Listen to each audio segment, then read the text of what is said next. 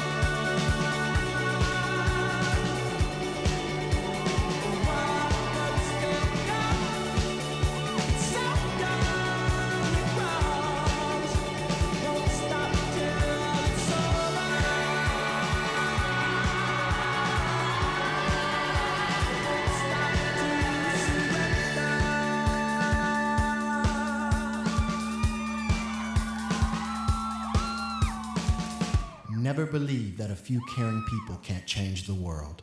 That's all who ever have.